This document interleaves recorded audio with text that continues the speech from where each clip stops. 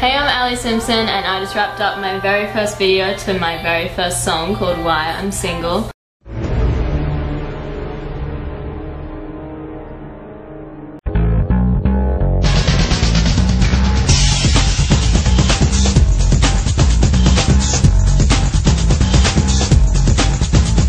Why I'm single. When I give them my heart